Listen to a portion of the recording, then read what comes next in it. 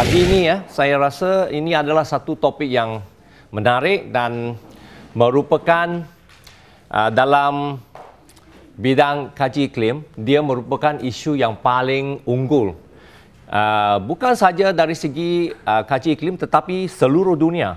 Seringkali ada persidangan bangsa-bangsa bersatu, uh, mereka sering membincangkan hal-hal berkenaan dengan orang pelarian, berkenaan dengan peperangan, uh, berkenaan dengan ancaman nuklear dan lain-lain kan. Tetapi uh, ke kebelakangan ini isu yang paling banyak dibincangkan adalah pemanasan global. Banyak uh, persidangan uh, negara-negara antarabangsa telah menitik beratkan isu ini dan kenapa? Sebab bukan sahaja isu pemanasan global itu mengancam ekosistem, mengancam iklim sebab iklim berubah dengan mendadak, uh, hurricane semakin besar, uh, banyak bencana. Uh, dia juga mempengaruhi uh, masyarakat manusia dan tamadun manusia sendiri. Sehingga uh, isu itu tidak kita dapat tak boleh lari daripadanya. Kalau kita lihat ada hujan asid di satu tempat, tempat lain tak ada. Kalau ada jerebu pun Asia Tenggara saja, tidak tempat lain tak ada. Kalau ada gempa bumi pun setengah negara saja. Kalau taifun, siklon, uh, uh, letupan gunung berapi, macam-macam bencana besar pun terhad kepada satu dua kawasan. Tetapi yang ini, you tak boleh lari ke mana kecuali you lari ke planet lain atau lari ke bulan ke apa. So, Baikkah you ada di Katulistiwa maupun di Kutub ataupun di Gurun, terus anda dipengaruhi oleh perubahan iklim. Sebab iklim itu begitu menyeluruh. Okey, untuk uh, kandungan kuliah ini, saya akan memberi sedikit pengenalan tentang pemanasan global, uh, kesan rumah hijau yang kita telah meneliti dalam satu kuliah yang lalu. Uh, ini untuk imbas kembali dan apakah yang menyebabkan kesan rumah hijau itu menjadi semakin buruk iaitu kesan rumah hijau tiruan ataupun antropogenik. Kemudian apa sebabnya pemanasan global itu berlaku? Ada bukti tak bahawa dia benar-benar berlaku? Sebab kita tahu ada setengah negara masih menafikan bahawa pemanasan global itu telah berlaku. Mereka kata tidak berlaku. So, apakah bukti dia? Apakah kesan dia pula? Kemudian, perubahan iklim sesuatu yang mungkin boleh bukan sahaja mengubah iklim tetapi boleh menjejaskan pembangunan pembangunan mapan ataupun pembangunan lestari. Kemudian uh, pada penghujung uh, kuliah itu saya akan meneliti tentang sedikit tentang cara-cara bagaimana masyarakat dunia boleh uh, menangani isu itu dari peringkat antarabangsa, peringkat nasional dan juga peringkat tempatan atau lokal. Okey, uh, sebab itu kuliah itu uh, panjang sedikit, saya akan uh, cepat sedikit. Pengenalan dia adalah sejak iklim itu dipantau oleh manusia dengan ada peralatan jangka suhu dan lain-lain, kita sudah ada rekod, uh, ada catatan rekod uh, menunjukkan bahawa dalam uh, tahun 1000 itu kita lihat bahawa sebenarnya suhu sedunia itu semakin menurun. Kita tahu ah, dalam sejarah bumi dia ada zaman ais, zaman panas, zaman ais, zaman panas berulang berselang-seli kan. Sebenarnya sekarang ah, kita sudah melebihi kemuncak kepanasan. Zaman panas sedang menurun dan menujui ke zaman ais yang kemudian akan datang. So sebenarnya kalau kita lihat satu graf, zaman panas yang puncak itu kita sudah lepas. Kita sudah menurun. So itu dia tengok ha. 1000 sampai ha, hampir 18000 itu kita lihat suhu dunia semakin menurun sebab sebab itu adalah uh, kitaran ha, suhu bumi. Satu kitaran zaman panas, satu kitaran zaman sejuk. Zaman ais. Tetapi tiba-tiba pada tahun-tahun uh, 80-an, 18-puluhan, suhu telah naik secara mendadak. Ha? Sehingga hari ini sudah mencatat begitu tinggi. Sejak satu uh, 100 tahun uh, sampai sekarang, uh, ataupun uh, 1900 sampai sekarang sudah naik satu darjah. Uh, suhu dunia purata telah naik satu darjah. Kenapa begitu? Sebab pada tahun 1800-an uh, berlaku satu uh, fenomena bersejarah ataupun satu tempo uh, bersejarah di mana manusia sudah mencipta mesin. Mencipta mesin. Dan tempo itu kita panggil sebagai revolusi industri. Bukan lah? Revolusi industri pada tahun 1870 macam itu. England, Eropah, semua tempat itu sudah mencipta mesin uh, wap, ha? mesin uh, kereta, macam-macam. So, telah mula menggunakan arang batu, telah lama-lama mula menggunakan bahan api fosil yang lain seperti petro, gas, uh, kerosin, lignite, macam-macam. Dan bila kita gunakan uh, bahan api fosil, kita bakar dia, uh, dia akan terus mengeluarkan karbon dioksida dan juga gas-gas rumah hijau lain masuk dalam udara dan ini menyebabkan uh, gas rumah hijau tambah dan menyebabkan penyerapan matahari tambah, uh, bahangan matahari tambah, lepas tu panaslah. Uh. Dan ada banyak bukti sebenarnya, ha? ini cuma beberapa saja. So, banyak bukti-bukti bahawa uh, berlakunya pemanasan uh, antara ini kenaikan aras laut. Uh, aras laut itu naik. Kenapa? Sebab bila air itu cair ais itu cair dia tambah dalam air laut so volume atau isi padu dia tambah dia akan naiklah. Dan berdua ialah bila air laut itu menjadi panas dia akan mengembang. Mengembang even satu peratus saja sudah besar kan ha? sebab lautan itu besar So ada dua perkara dalam kenaikan aras laut. Satu ialah pencairan salji, ais. Nombor dua ialah bila air itu suhu dia tinggi, dia mengembang. Yang mengembang itu lagi teruk. Bila mengembang dia naiklah. Kemudian pengkaraman tanah berlaku apabila ais itu cair, ha? maka ais itu mengalir keluar dari kawasan bawah, air, uh, tanah banyak tanah tenggelam, menyebabkan tanah runtuh macam-macam. Penghijahan haiwan. Haiwan pun boleh hijrah. Sebab kalau haiwan itu suka kawasan yang sejuk, apabila suhu jadi panas, dia terpaksa menghijau ke tempat lebih sejuk. Jadi dari mungkin garis lintang 20, sekarang 20 sudah panas macam katulistiwa. So dia dia terpaksa naik lagi pergi uh, garis lintang 30 misalnya. Ataupun nyamuk, ha, nyamuk suka kawasan tropika. Dia berada di antara 15 uh, darjah selatan sampai 15 darjah utara dalam uh, jaluran itu saja.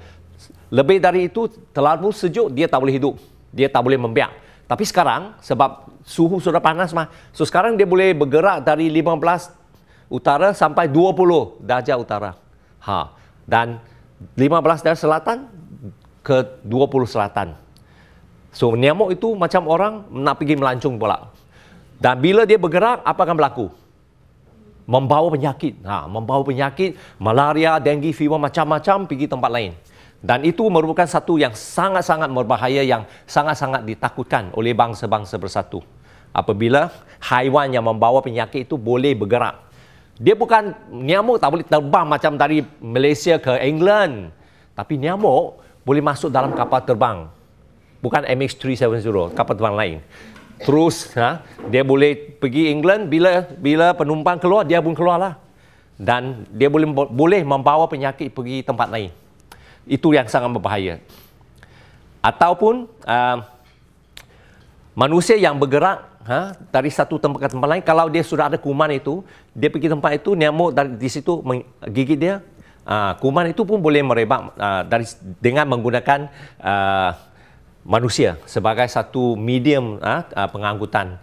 So banyak perkara lain uh, pencairan Greenland. Greenland kita tahu ialah ais uh, benua ais. Uh, begitu juga uh, pencairan Antartika sudah cair. Tengok ini. Uh, Larsen B ice shelf lost about 1255 square mile. Uh, uh, batu persegi ais itu cair disebabkan oleh pemanasan. So banyak ada banyak lagi ya uh, perkara-perkara lain yang saya akan tunjukkan. Uh, kita perlulah, okay, bukan saja meneliti pemanasan global itu dari segi uh, fizikalnya, suhu naik, aras laut naik macam-macam, tetapi perlu kita kaitkan bagaimana pemanasan global itu boleh mempengaruhi kita. Yang penting manusia kan.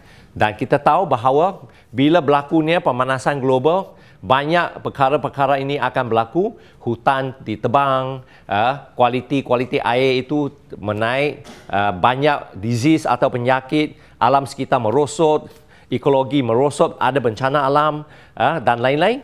Dia akan mempengaruhi pendapatan kita sebab ramai orang uh, pendapatan bergantung kepada iklim. Sebenarnya nelayan tak boleh tangkap ikan padi itu rosak disebabkan bencana. So bila bencana berlaku, dia akan mempengaruhi pendapatan, kesihatan, jerebu, mempengaruhi kesihatan. Kemudian pendidikan. Bagaimana boleh mempengaruhi pendidikan?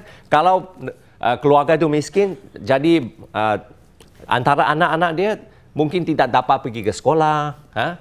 Kita di Malaysia sangat bertuah. Semua dapat pergi sekolah percuma. Tapi banyak negara lain, uh, apabila keluarga itu miskin, uh, kanak-kanak dalam rumah perlu membantu untuk cari uh, makanan ataupun uh, membantu uh, untuk buat kerja. Sebab itu tidak ada peluang uh, pendidikan.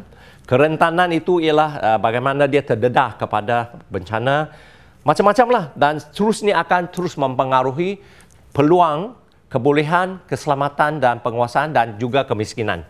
So, graf itu menunjukkan bahawa Pemanasan global bukan setakat mempengaruhi fizikal, iklim, geomorfologi, hidrologi dan lain-lain tetapi boleh mempengaruhi ekonomi dan masyarakat sosial manusia ha?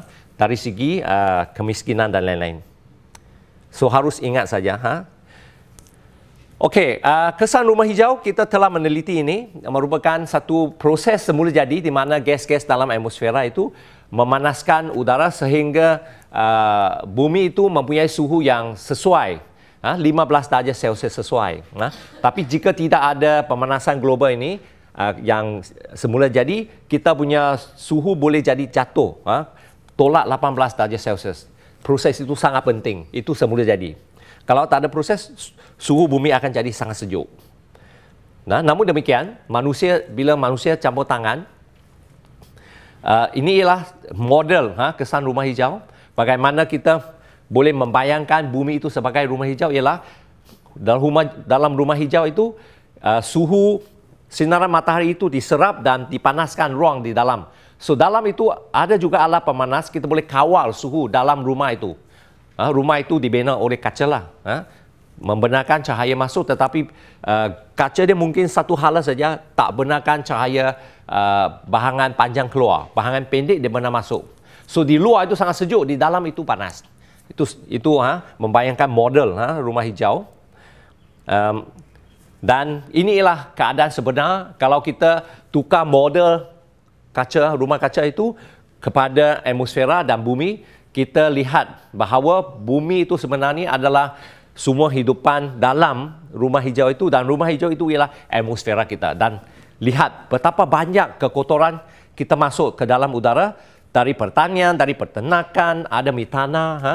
uh, ada habuk dari uh, permukaan bumi, ada habuk, ada kuman yang kering, uh, ada juga dari bandar, ada uh, menggunakan gas, uh, kereta, uh, industri, semua itu uh, naik. Uh, kapal terbang juga banyak mengeluarkan uh, bahan-bahan yang kotor masuk dalam udara. Nah, semua gas-gas saya sudah tunjukkan di situ. Apabila semakin tambah banyak semua gas itu, maka semakin banyak bahangan matahari diserap pada waktu siang. Bukan saja waktu siang, waktu malam bila benda itu ada, bahangan bumi tidak dapat keluar sebab dia menahan. Dia macam ada bumbung. Ha? Bila bahangan bumi nak keluar itu dia pantu balik.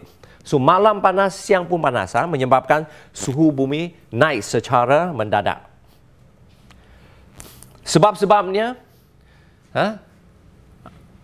kenapa pemanasan global itu berlaku? Salah satu ialah peningkatan karbon dioksida dalam atmosfera dan ini disebabkan tadi banyak sebab. Satu, uh, kita potong hutan, ha? okay? membakar hutan, uh, kita menggunakan bahan api fosil, kita menggunakan kenderaan, kita menggunakan industri, semua itu melepaskan karbon dioksida dalam udara. Uh, selain daripada itu, bila kita uh, menebang hutan, hutan yang boleh menyerap karbon dioksida sudah tak ada, maka dia semakin tambah. Okay, sebab sumber yang boleh mengurangkan karbon dioksida sudah tidak ada. Selain daripada itu, kandungan gas rumah hijau lain sudah naik juga. Seperti CH4 itu metana, CFC, nitrous dioxide, ozon, semua itu dihasilkan dalam proses industri, uh, aktiviti manusia dan sebagainya. Selain daripada gas-gas yang saya senaraikan, di, ada 25 lagi gas rumah hijau yang memainkan peranan yang kecil tetapi penting juga. Kemudian uh, satu lagi sebab ialah iklim itu berubah secara semula jadi. Itu juga boleh menyebabkan uh, suhu panas, ais kemuncak itu cair. Bila katanya bila udara itu panas, ais itu cair. Kan? Bila ais cair masuk dalam laut lah kan? Katakan dulu ada 100% dalam permukaan sini adalah ais. So ais itu kita tahu menjalankan fungsi membalikkan, membantu balik cahaya. Tapi sekarang sudah tinggal sikit saja. Jadi cahaya matahari diserap, tidak dipantu balik. So panas lagi. Ha, setiap ada dua dua kali ganda. Ha? Sebab ais itu sudah tak ada, jadi fungsi untuk membantu balik sudah tak ada. Tetapi digantikan dengan penyerapan, so dia panas lagi. Ha, itu sangat bahaya.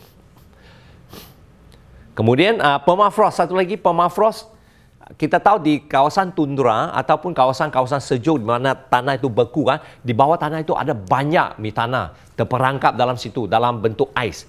Tetapi apabila ais itu cair, udara panas, tanah panas, maka mi tanah itu dilepaskan jadi gas semula ya? dari dari beku dia jadi gas.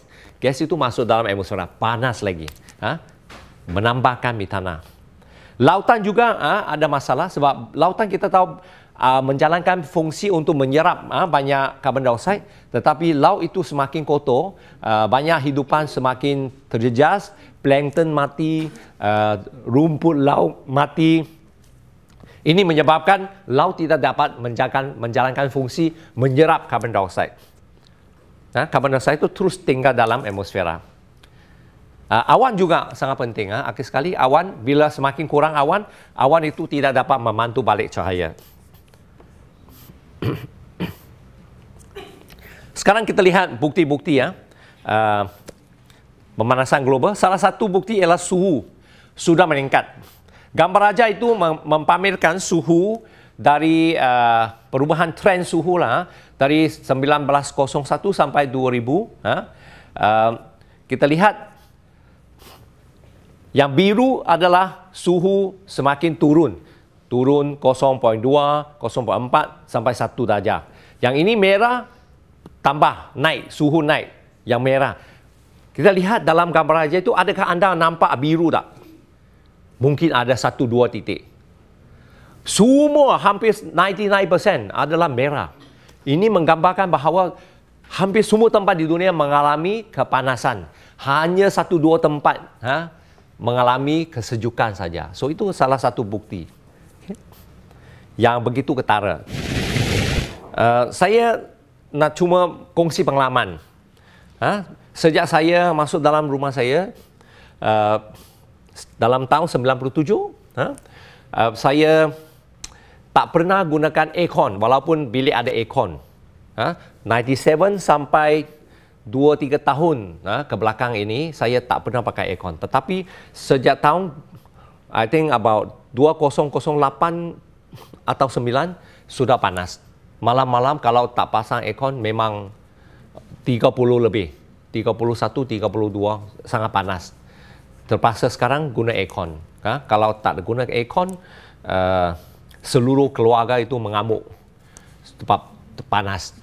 Okey So, pengalaman sendiri pun sudah menunjukkan dia, dia panas. Kemudian kita lihat tren kepasan, pemanasan global juga diikuti dengan perubahan hujan. Banyak tempat menjadi kering, ada setengah tempat jadi uh, basah. So, memang ini telah berlaku. Yang kuning, uh, orange punya ialah menjadi semakin kur, uh, kering, yang hijau punya semakin lembap. Okay? So, memang itu telah berlaku. Uh, di Malaysia macam mana? Malaysia uh, tak banyak perubahan ha, dari segi hujan. Nanti saya ada satu jadual menunjukkan kesan-kesan pemanasan global di Malaysia. Ha? Okey, lagi satu bukti ialah uh, berkenaan dengan kepanasan juga. Ha? Kepanasan dari tahun 1860 sampai 2000 juga kita lihat ah suhu naik ha? secara global ini ialah hemisfera utara ha? kedua-dua menunjukkan suhu itu naik secara uh, mendadak ha? sebelum tahun 1800 suhu itu purata macam tu ha? dengan tiba-tiba selepas revolusi industri sudah naik dengan uh, sangat tinggi ini adalah kejadian kerpasan lebat di Amerika Syarikat juga satu bukti bahawa uh, hujan renyai-renyai sekarang sudah jadi hujan lebat. Uh, semakin meningkat. Selain selain daripada itu, El Nino juga semakin membesar. Ha, bandingkan dengan dulu, ha, El Nino itu kecil saja. Saat ini lihat dia sudah naik. Ha, sini, ha, mungkin dalam tahun ini mungkin ada juga naik dia lebih besar. Lebih tinggi, lebih tinggi, lebih besar El Nino. Bila lebih besar, lebih kering, lebih panas. Ya. Selain daripada itu, banyak uh, gas-gas dalam atmosfera telah naik. Itu juga satu bukti. Ya. Sulfur telah meningkat. Ya. Begitu juga karbon dioksida, metana dan juga nitrous oxide. Semuanya sejak tahun 1000 sampai sekarang sudah semua naik secara mendadak. Dan semua gas itu adalah gas rumah hijau. Bila gas itu terdapat banyak, suhu panas sebab dia menyerap ha, dia berupaya menyerap banyak haba bahangan dan kalau kita korelasikan ha, uh, dengan model ha, dan juga dengan observation observation itu yang merah observation pemerhatian itu sebenarnya yang kita catat suhu yang dicatat oleh jangka suhu yang hitamnya kita model okay? dan didapati bahawa ha, model dengan yang tercatat pun sama juga. Kedua-dua menunjukkan peningkatan ha, suhu. Tidak ada model yang menunjukkan penurunan. Ha. So itu juga satu bukti yang begitu ketara. Selain daripada gambar raja tadi saya tunjukkan kesan-kesan pemanasan global terhadap kemiskinan, uh, kita juga boleh lihat saling kaitan uh, pemanasan global itu dengan sistem manusia, sistem iklim kandungan atmosfera dan juga sosial ekonomi. Banyak perkaitan antara itu. Ha, barangkali kita boleh bincangkan tem, uh, perkara itu uh, semasa tutorial. Tetapi uh, yang penting dalam gambar raja itu ialah bahawa pemanasan global itu terus akan bukan sahaja mempengaruhi sistem iklim, dia juga akan ada impak terhadap manusia dari segi sumber air, uh, dari segi pertanian, hutan, ekologi, biodiversiti dan juga kesihatan manusia sosioekonomi uh, boleh juga menjejaskan ekonomi, uh, teknologi, penduduk dan lain-lain. Uh, sebagai satu contoh, bila berlaku kemarau yang besar, uh, tanaman padi terus rosak, uh, terus uh, dimusnahkan, jadi negara akan hilang banyak pendapatan. Uh, petani akan susah. Uh, kalau ada bencana, uh, berjuta-juta ringgit terpaksa dibelanjakan untuk uh, menangani bencana.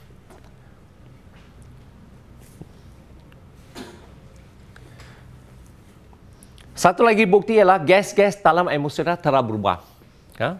Kandungan gas berubah uh, dari segi karbon dioksida, karbon monoksida, sulfur dioksida dan lain-lain dan kita boleh kaitkan uh, kandungan gas itu dengan perubahan suhu dan juga kenaikan aras laut. Ha? Yang banyak garisan-garisan itu menunjukkan model-model yang berlainan. Ha? Misalnya, uh, kalau kita tidak tukar kita punya corak kehidupan, Okay, mungkin dia akan jadi sini. Tapi kalau kita tukar corak kita sedikit, ha, dia mungkin kenaikan boleh diturunkan. Kalau kita semua berhenti menggunakan bahan api fosil, mungkin dia boleh jadi begini. Memang ini akan susah untuk capai. Mungkin ha, tengah-tengah ini. Kalau tetapi kalau manusia tidak ambil tindakan, ha, sekarang terus jalan seperti biasa, ini akan jadi keputusan dia. Ha? Pada tahun 2021 suhu akan naik mungkin 4-5 darjah. Dan bila ini berlaku banyak bencana akan berlaku. Ha? so adakah kita harus membuat sesuatu? Tetapi banyak negara tidak membuat sesuatu tidak mengambil berat tentang perkara ini. Sebab apa? Sebab terlalu jauh Ha, pemanasan global itu orang tidak prihatin sebab benda itu dia tak nampak. Ha, manusia itu dia dia boleh nampak sikit saja. Dua tahun, tiga tahun. Dia tak nampak 50 tahun ke depan. Untuk saya sudah mati 50 tahun. Berapa saya prihatin 50 tahun biar perkara. Tapi sebenarnya kalau saya tidak prihatin, anak saya akan terjadi, ha, akan dipengaruhi, cucu semua itu akan dipengaruhi. Ha? Saya ag- agak ha? selfish kalau saya tidak mengambil tindakan sebab mereka akan blame saya. Ha, inilah datuk saya dulu mencemarkan udara sehingga sekarang kita punya suhu macam begini. Ha. So dia akan ha, ada banyak perkara. Kita akan meninggal uh, meninggalkan sesuatu alam sekitar yang tidak baik, yang buruk kepada uh, cucu kita. Okey, ini perubahan suhu saya sudah bincangkan. VRSI suhu juga ha, semua menunjukkan begitu naik ha, secara pesat.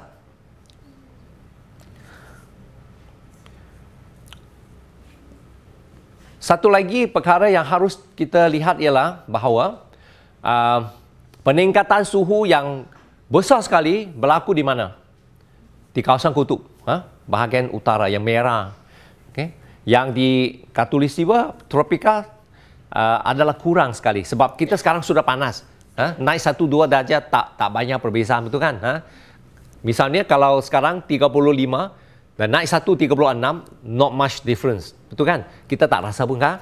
Tetapi kalau kosong darjah naik satu darjah itu kosong kepada satu banyak perbezaan. Sebab kosong itu beku kan? Ke satu itu dia tak beku. Ha. So di antara kosong dengan satu perbezaan adalah besar tapi antara 35 36 tu tidak banyak. Okey. Um, itu juga men, menunjukkan perkaitan antara kestabilan suhu dengan kenaikan aras laut. Ha? Sememangnya semua model menunjukkan aras laut terus akan naik. Uh, untuk banyak tempat di dunia mungkin di antara 1 hingga 2-3 meter satu meter tu tiga kaki. Itu bergantung kepada uh, suhu boleh dikawal atau tidak. Ha? Telah diramalkan uh, bahawa jika suhu naik 5 darjah Celsius ha, pada 2100 mungkin aras laut akan naik secara maksimum boleh capai 2 atau 3 meter. 2 atau 3 meter itu antara 1 meter 3 kaki, 6 kaki sampai 9 kaki. Kalau katakan Pulau Pinang, uh, katakan suhu naik 5 darjah, 2100 anda masih hidup kan? Ha? Uh, tahun umur berapa? Sekarang 20, ha? Uh, tambah lagi 86 tahun. 100 100 lebih sikit. Ha. Memang ada kemungkinan. Kemungkinan tinggi sekali sebab apa? Sebab usia manusia semakin panjang.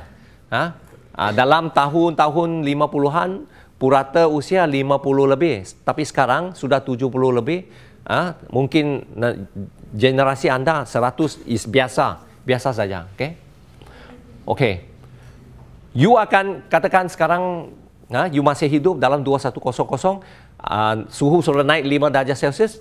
Aras laut akan terus naik 3 meter. You beli rumah dekat dekat dekat uh, Georgetown habis tenggelam jeti Georgetown tenggelam sebab dia sangat rendah saja tak tak sampai satu meter pun begitu juga lebuh raya Lim Chong Yu tenggelam sebab dia ketinggian dia satu meter saja okay? banyak rumah-rumah di tepi pantai tenggelam airport tenggelam ha? lapangan terbang uh, yang yang sangat rendah juga I think lapangan terbang kurang dari satu meter pun ha? so banyak tempat di Pulau Pinang akan terus tenggelam dan uh, jika kita tidak membuat sesuatu. Okay. Setengah tempat menjadi lebih basah, setengah tempat menjadi lebih uh, kering. Uh, ini ialah larian air permukaan dan kita terus cepat sedikit. Uh. Tetapi kenaikan suhu itu adalah baik untuk tempat yang sejuk bukan? Tempat sejuk macam uh, Canada, uh, dekat dekat dengan kutub ah. Sekarang bila sudah naik 5 darjah panaslah. Sebab dulu dia sangat beku, tanah, uh, dia tak boleh tanam biji ni, sekarang dia boleh tanam. So untuk bagus ah untuk setengah tempat. Tetapi kenaikan suhu tidak baik untuk tempat yang lain. So, jangan kata bahawa kenaikan suhu itu adalah buruk untuk semua orang. Tidak. Ha? Untuk tempat yang sejuk, bila panas sikit adalah bagus. Okay? Tetapi itu ialah sesuatu perkara yang sangat-sangat uh, buruklah akan terjadi. Apabila aras laut naik, banyak pantai akan tenggelam. Termasuk juga pantai-pantai di Malaysia. Ha? Uh, dan bandar-bandar besar yang letaknya dekat-dekat dengan laut itu akan terus mengalami uh, penenggelaman uh, dan penduduk itu terpaksalah uh, berpindah. Kota baru mungkin hilang. Separuh dari kota baru sudah hilang. Penduduk dia terpaksa bergerak. Uh, mungkin ke Gua Musang. Uh, Pulau Pinang, Georgetown, tenggelam. Terdepak naik ke Aitam. Uh, Pelabuhan Kelang, tenggelam. Pergi Kuala Lumpur. Uh, Johor Baru, ha? dekat laut kan. Ada setengah tempat terpaksa pindah juga. So, kalau dalam negara tak apa. Macam Bangladesh macam mana? Bangladesh itu seluruh negara dia ha, di bawah aras 2 meter. Bangladesh sangat rata tempat dia. So dia nak pergi mana? Ha, dia bukan macam Malaysia ada tinggi, tanah tinggi kita boleh lari lah ke Cameron Highlands. Ini Bangladesh tak boleh lari sebab tempat yang paling tinggi pun sikit saja. Dan dia punya penduduk pun besar, 100 juta lebih. Nak pergi mana? Masuk India. Masuk India, orang India tunggulah dengan senapang. Sebab apa? Tidak benarkan mereka masuk. So, dia akan menimbulkan satu masalah uh, global antarabangsa ada pelarian, refugee. Pelarian bukan disebabkan oleh peperangan tetapi pelarian disebabkan oleh alam sekitar berubah. Disebabkan oleh pemanasan global. Dan akan menimbulkan banyak masalah. Dan banyak negara yang terdiri dari pulau-pulau macam Hawaii, Fiji, yang pulau yang sangat rendah akan terus hilang semua tempat. Okey. Atmosfera karbon dioksida ikut terus. Sekarang kita lihat uh, satu peristiwa disebabkan oleh kepanasan. Dalam tahun 2003 ada satu gelombang hangat mempengaruhi seluruh Eropah. Tengok dalam kamar raja itu tempat-tempat banyak tempat mendapat suhu hampir 40 darjah Celsius. Tak pernah dia mengalami 40. Macam di Perancis, biasanya even musim panas yang paling panas pun 20 macam Cameron Highlands saja. Tapi dengan tiba-tiba satu minggu, suhu dia 35, 40. Ramai orang meninggal. 14,800 meninggal orang tua terdiri banyak orang tua dan juga orang sakit, orang uh, uh, bayi yang kecil, uh, anak kanak-kanak dengan orang tua. Uh, orang dewasa kuat itu dia boleh tahan. Sebab apa? Sebab di Perancis tu tidak ada aircon macam di Malaysia. Tak pernah tak, tak perlu aircon. Sebenarnya musim dingin dia ada alat pemanas saja. So bila panas apa dia buat? Ini, ini saja. Dia boleh buat. Dia keluar saja. Ha? Dia keluar dari rumah. Rumah memang tak boleh tak boleh tidur pun. Malam-malam tak boleh tidur pun. Dia kena tidur di padang dan macam-macam.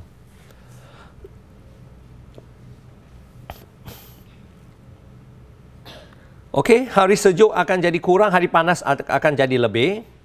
Ah, ini ya perkara yang saya telah bincangkan tadi. Ha? Nyamuk itu akan melancung, membawa malaria, schistosomiasis, filariasis, semua itu adalah uh, dengue dan lain-lain semua berkaitan dengan vektor ataupun uh, pembawa penyakit nyamuk, ha?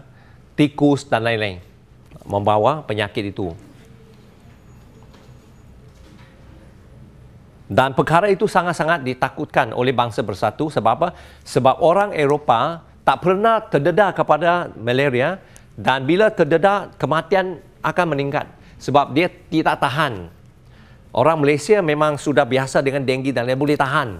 Ha, kita tengok banyak kes denggi yang kita satu tahun saja berdapat berpuluh-puluh ribu kes. Cuma kematian pun mungkin tak sampai satu ratus. Ha, sebab orang Malaysia sangat tahan denggi, biasa. Tapi orang Eropah kena saja saya rasa ha, uh, kecenderungan untuk meninggal adalah lebih tinggi sebab dia tak tahan. Tak biasa dengan itu. Ha. Okey, di, di Afrika apakah kesan dia? Ha? Afrika adalah benua yang miskin, orang yang miskin.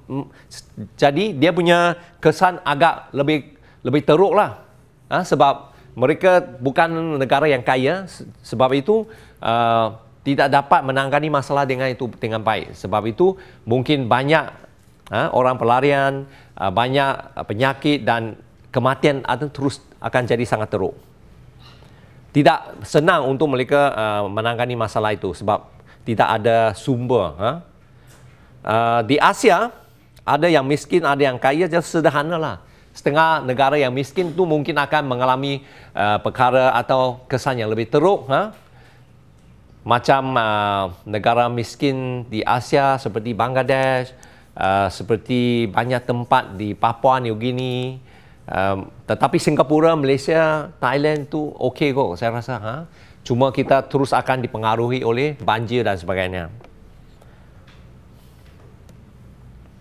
Di Oceania, Australia dan New Zealand, ha, dua negara yang kaya juga so tidak ada masalah, tak tak jadi masalah besar. Sebenarnya lebih baik kepada mereka sebab Australia, New Zealand sejuk sikit ha. So bila panas sikit ha, macam subtropika, macam monsun, ha, baguslah untuk dia.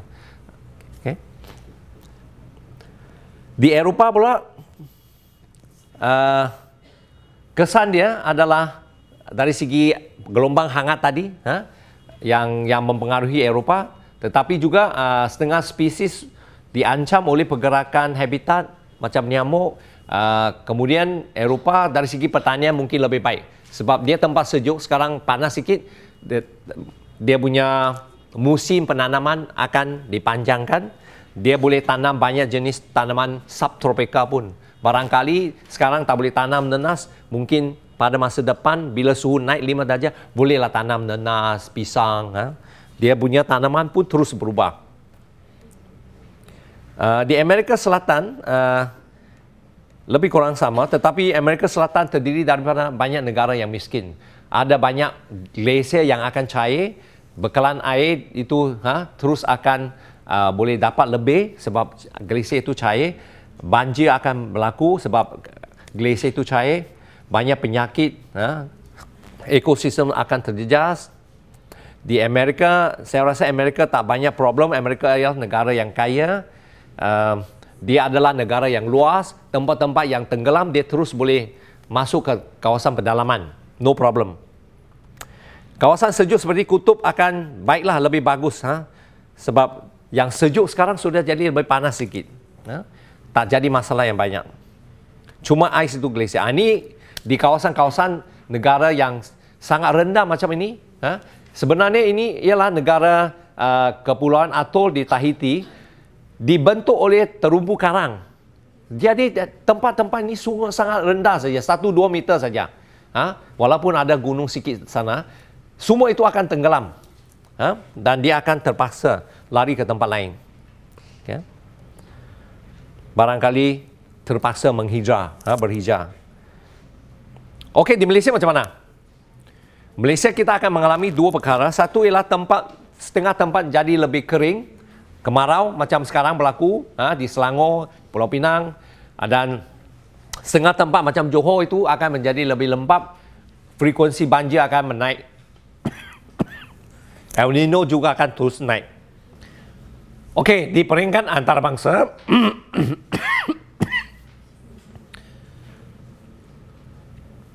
kita boleh adakan perjanjian antarabangsa dan protokol Montreal merupakan salah satu daripadanya untuk mengurangkan, mengharamkan CFC. Kemudian kita ada perjanjian Kyoto untuk mengawal perubahan iklim. Malaysia sudah menandatangani kedua-duanya.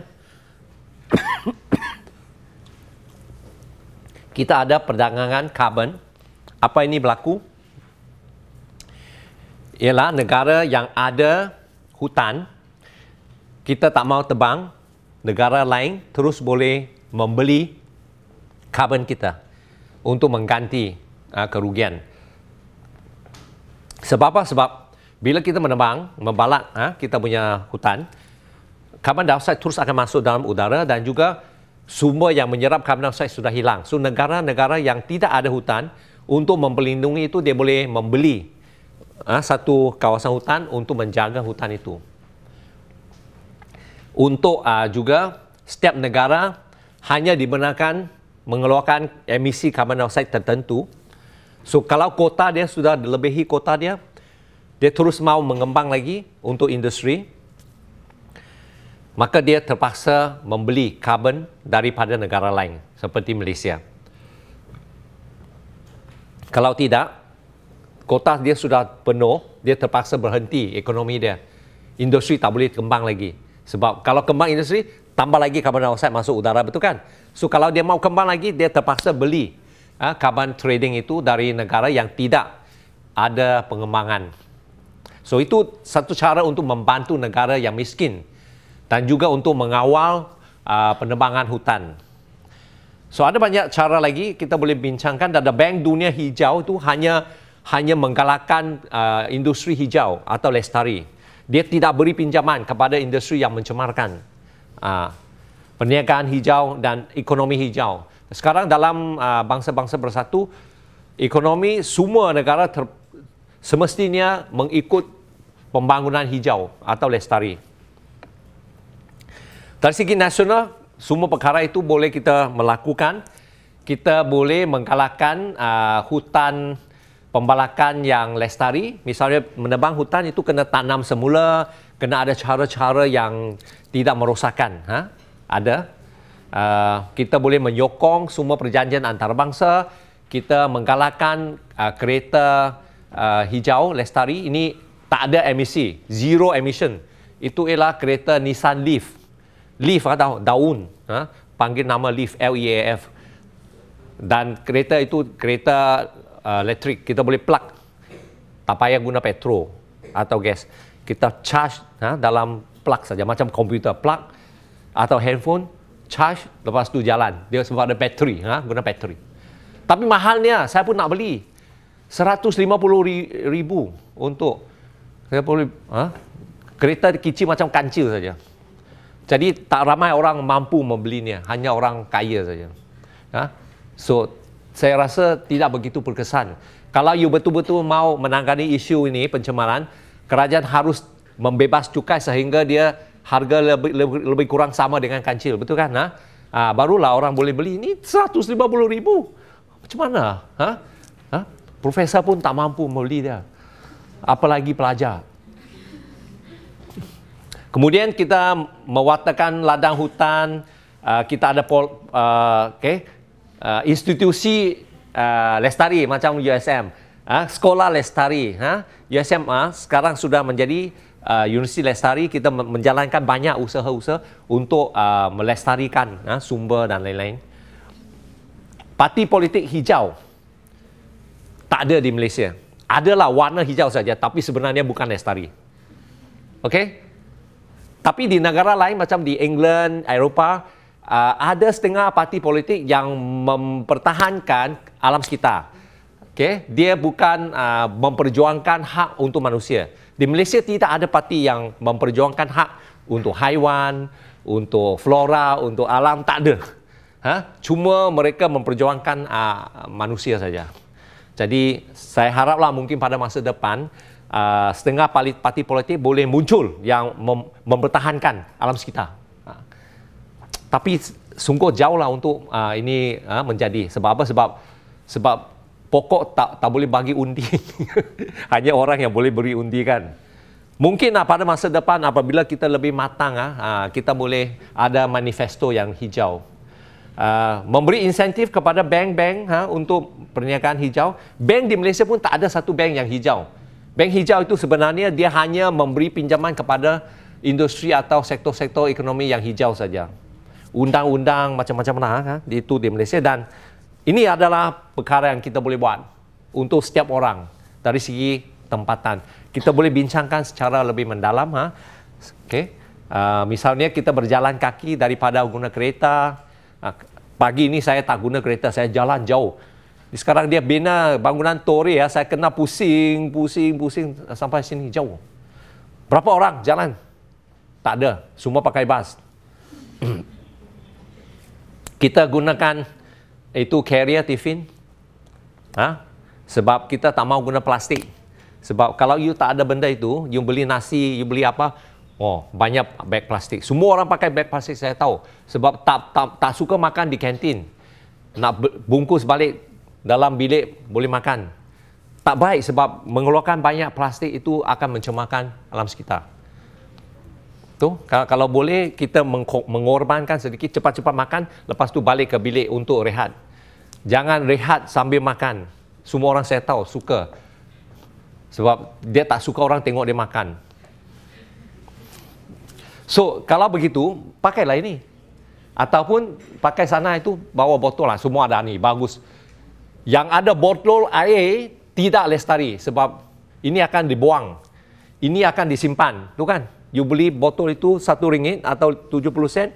Lepas you guna pakai, you akan buang. Eh, you tidak simpan macam ini. Ha, ini akan buang. Bila buang itu, ha, mencemarkan. Okey?